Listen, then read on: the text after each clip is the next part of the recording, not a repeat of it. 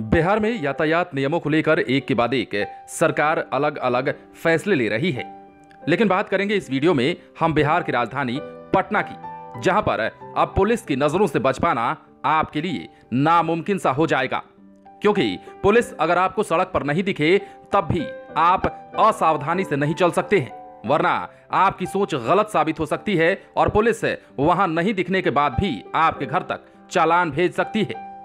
दरअसल पटना को smart city बनाने के क्रम में एकीकृत कमान और नियंत्रण केंद्र निर्माण का काम अंतिम चरण में है। इस नियंत्रण कक्ष के ज़रिए न केवल शहर की यातायात व्यवस्था को सुदृढ़ किया जाएगा, बल्कि अतिक्रमण से लेकर तमाम अनियमितताओं पर नज़र भी रखी जाएगी। कोई भी व्यक्ति अगर यातायात नियम तोड़ता है तो उसकी तस्वीर के साथ चालान भी घर तक पहुँच जाएगा। ऐसे में सड़क पर पुलिस नहीं दिखने पर लाल बत्ती पार करना भी आपको महँगा पड़ सकता है। जिलाधिकारी डॉक्टर चंद्रशेखर सिंह और यातायात पुलिस अधीक्षक अनिल कुमार के साथ निर्माणाधीन केंद्र का निरीक्षण भी किया गया। इस मौके पर जिलाधिकारी ने यह भी कहा कि एकीकृत कमान और नियंत्रण केंद्र के द्वारा यातायात नियंत्रण, लाल बत्ती उल्लंघन का पता लगाने और गति उल्लंघन जैसी उन्नत प्रणालियों के कामकाज का नियंत्रण और निगरानी किया जाएगा। यह केंद्र शहर में सुरक्षा, रक्षा और बेहतर सार्वजनिक सेवाएँ प्रदान करेगा। इससे पुलिस को कानून व्यवस्था बनाए रखने में भी मदद मिलेगी। उन्होंने कहा कि आई ट्रिपल सी भवन में ही जिला नियंत्रण कक्ष और पीआईआर को शिफ्ट करने की योजना है। मद्य निषेध कानून को प्रभावी ढंग से लागू करने के लिए उत्पाद विभाग ने प्रयास भी तेज कर दिए हैं। होली में शराब तस्करी को नियंत्रण करने के लिए उत्पाद विभाग की ओर से पटना पुलिस की मदद ली जाएगी। पटना पुलिस के जवानों को पूरे ज़िले में चौकसी बरतने के लिए नई मोटरसाइकिल दी जा रही है। इसी क्रम में उत्पाद विभाग द्वारा पटना पुलिस को 20 मोटरसाइकिल सौंपी गई। जिसे जिलाधिकारी और पुलिस अधीक्षक यातायात के द्वारा समाहरणालय परिसर से हरी झंडी दिखाकर रवाना भी किया गया।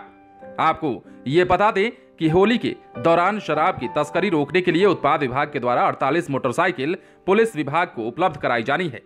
इसके तहत 20 मोटरसाइकिल दी गई, शेष 28 मोटरसाइकिल भी जल्द दे दी जाएगी। इसके अतिरिक्त 22 दो पहिया वाहन पूर्व से पुलिस विभाग में है। मद्य निषेध कानून को प्रभावी बनाने के लिए ज़िले में एक सौ अड़तालीस ब्रेथ एनालाइजर उपलब्ध कराए गए हैं जिसके तहत पुलिस को 90, रेल पुलिस को 25, उत्पाद विभाग को 21 और परिवहन विभाग को दो ब्रेथ एनालाइजर दिए गए हैं। होली त्योहार के अवसर पर शराबबंदी अभियान के प्रभावी क्रियान्वयन और छापेमारी के लिए एक ब्लेथ एनालाइजर तीन ड्रोन तीन मोटरबोट और तीन टीमें लगाई गई हैं। सरकार द्वारा पटना ज़िले को पाँच अतिरिक्त पदाधिकारी भी उपलब्ध कराए गए हैं। लेकिन इन सबके बीच सबसे बड़ा अपडेट ये है कि पटना को स्मार्ट सिटी बनाने के लिए अब पुलिस जो है वो अपने नियम से काम कर रही है। यातायात व्यवस्था को सुदृढ़ करने के लिए ही अतिक्रमण से लेकर तमाम अनियमितताओं पर नज़र रखी जाएगी और इसके तहत कोई भी व्यक्ति अगर यातायात नियम तोड़ता है तो उसकी तस्वीर के साथ चलान उसके घर तक पहुँचा दिया जाएगा। अब ऐसे में आप चाह कर भी सड़क पर कानून का उल्लंघन नहीं कर सकते चाह कर भी ट्रैफ़िक के नियमों का उल्लंघन नहीं कर सकेंगे। अगर ऐसा करते हैं तो आपको इसका खामियाजा भी भुगतना पड़ जाएगा। आप बने रहें लाइव सिटीज़ के साथ। यदि आपने इस चैनल को सब्सक्राइब नहीं किया है तो सब्सक्राइब कर लीजिए, ताकि हम आपको खबरों से अपडेट रख सकें।